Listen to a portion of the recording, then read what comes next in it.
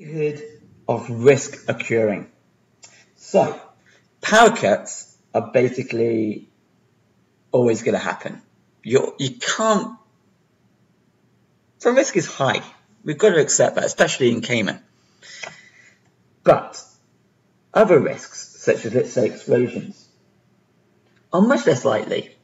So it's down to the senior manager to have to assess the different risks, the probability of it actually occurring. And each risk is literally assessed on a scale.